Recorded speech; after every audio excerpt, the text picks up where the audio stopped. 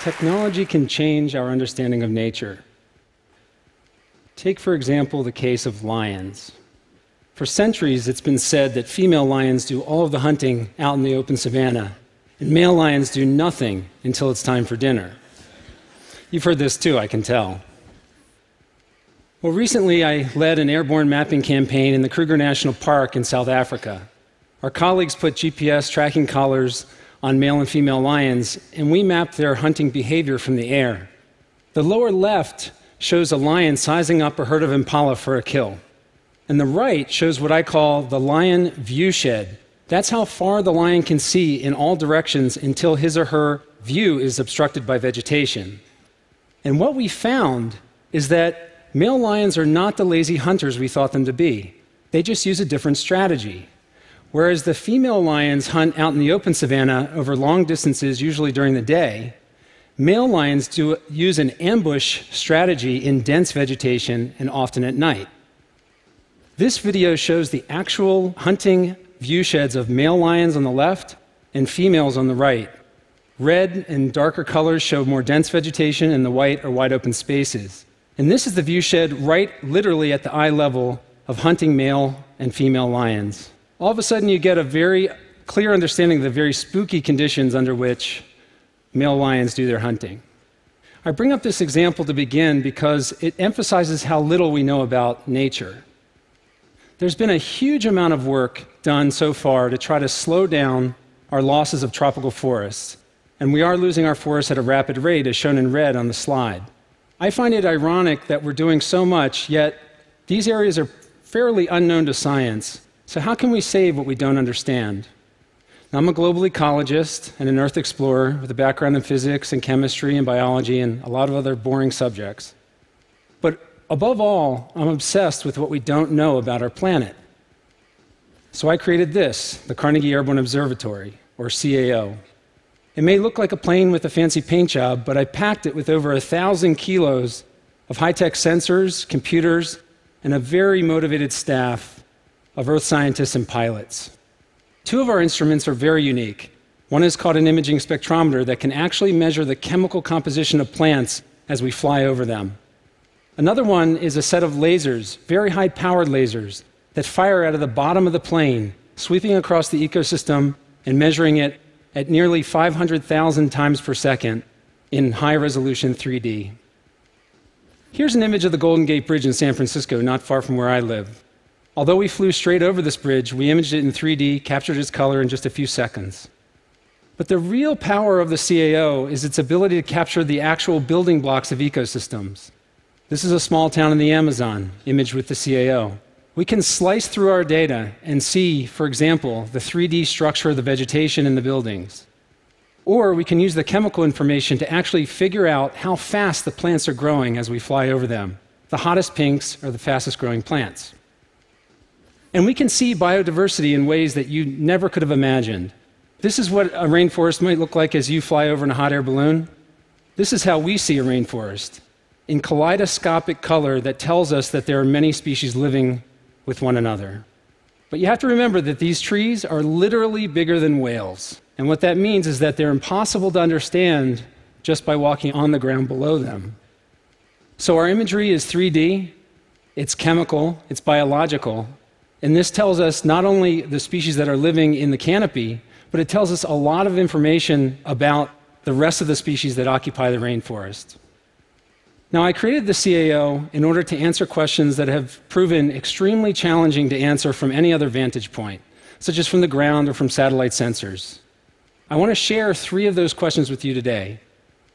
The first question is How do we manage our carbon reserves in tropical forests? Tropical forests contain a huge amount of carbon in the trees, and we need to keep that carbon in those forests if we're going to avoid any further global warming. Unfortunately, global carbon emissions from deforestation now equals the global transportation sector. That's all ships, airplanes, trains, and automobiles combined.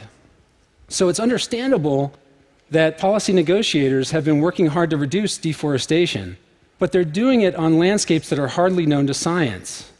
If you don't know where the carbon is exactly in detail, how can you know what you're losing? Basically, we need a high tech accounting system. With our system, we're able to see the carbon stocks of tropical forests in utter detail. The red shows obviously closed canopy tropical forest, and then you see the cookie cutting or the cutting of the forest in yellows and greens. It's like cutting a cake, except this cake is about whale deep. And yet we can zoom in and see the forest and the trees at the same time. And what's amazing is, even though we flew very high above this forest, later on in analysis, we can go in and actually experience the treetops, leaf by leaf, branch by branch, just as the other species that live in this forest experience it along with the trees themselves. We've been using the technology to explore and to actually put out the first carbon geographies in high resolution in faraway places like the Amazon basin and not so far away places like the United States and Central America. What I'm going to do is I'm going to take you on a high resolution, first time tour of the carbon landscapes of Peru and then Panama. The colors are going to be going from red to blue. Red is extremely high carbon stocks, your largest cathedral forest you can imagine, and blue are very low carbon stocks. And let me tell you, Peru alone is an amazing place, totally unknown in terms of its carbon geography until today. We can fly to this area in northern Peru and see super high carbon stocks in red and the Amazon River and floodplain cutting right through it. We can go to an area of utter devastation caused by deforestation in blue, and the virus of deforestation spreading out in orange. We can also fly to the southern Andes to see tree line and see exactly how the carbon geography ends as we go up into the mountain system. And we can go to the biggest swamp in the western Amazon. It's a watery dream world akin to Jim Cameron's Avatar. We can go to one of the smallest tropical countries Panama and see also a huge range of carbon variation from high in red to low in blue. Unfortunately, most of the carbon is lost in the lowlands, but what you see that's left in terms of high carbon stocks in greens and reds is the stuff that's up in the mountains. One interesting exception to this is right in the middle of your screen, you're seeing the buffer zone around the Panama Canal. That's in the reds and yellows. The canal authorities are using forests to protect their watershed and global commerce. This kind of carbon mapping has transformed conservation and resource policy development. It's really advancing our ability to save forests and to curb climate change. My second question how do we prepare for climate change in a place in the Amazon rainforest? Let me tell you, I spend a lot of time in these places, and we're seeing the climate changing already. Temperatures are increasing, and what's really happening is we're getting a lot of droughts, recurring droughts. The 2010 mega drought is shown here with red, showing an area about the size of Western Europe. The Amazon was so dry in 2010 that even the main stem of the Amazon River itself dried up partially, as you see in the photo in the lower portion of the slide.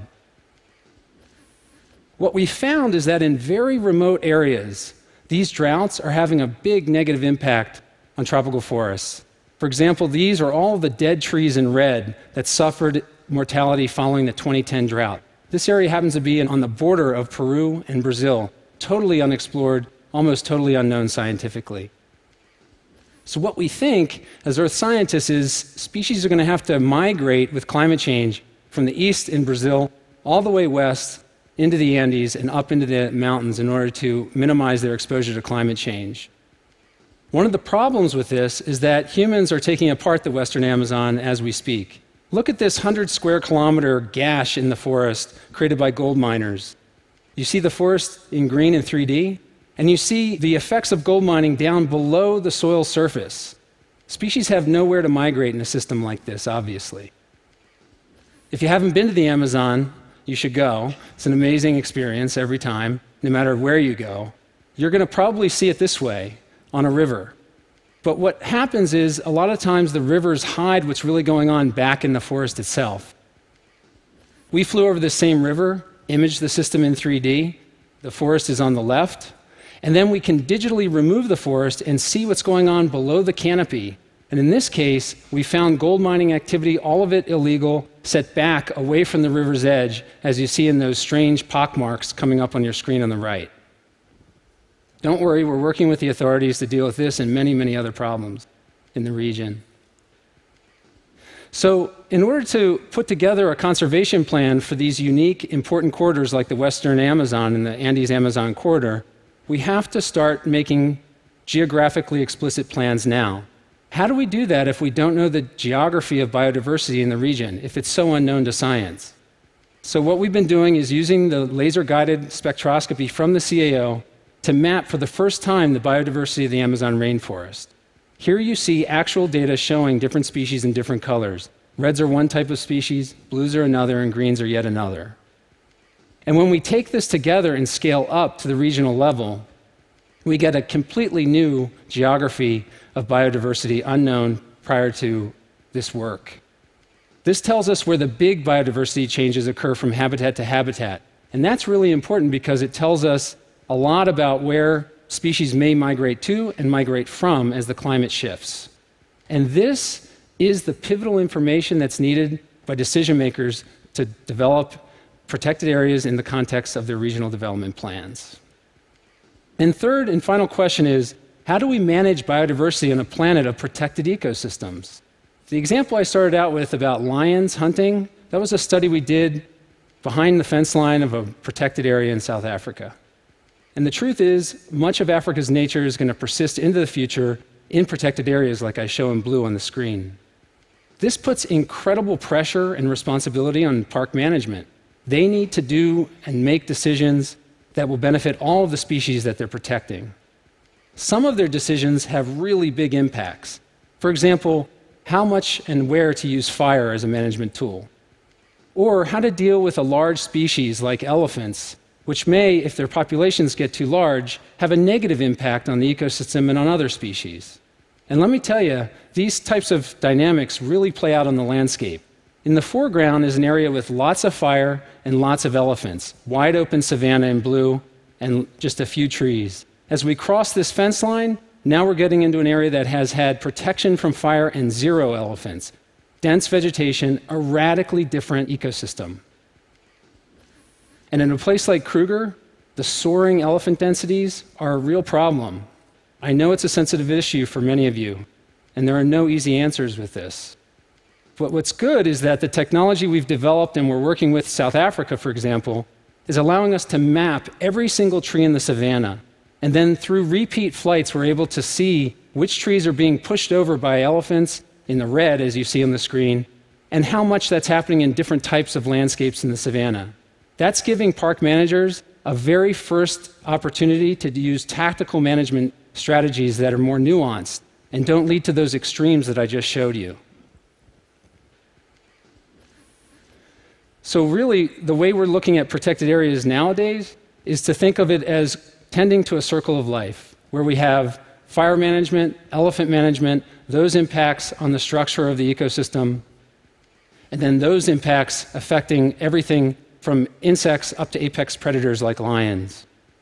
Going forward, I plan to greatly expand the Airborne Observatory. I'm hoping to actually put the technology into orbit so we can manage the entire planet with technologies like this. Until then, you're going to find me flying in some remote place that you've never heard of. I just want to end by saying that technology is absolutely critical to managing our planet, but even more important is the understanding and wisdom to apply it. Thank you.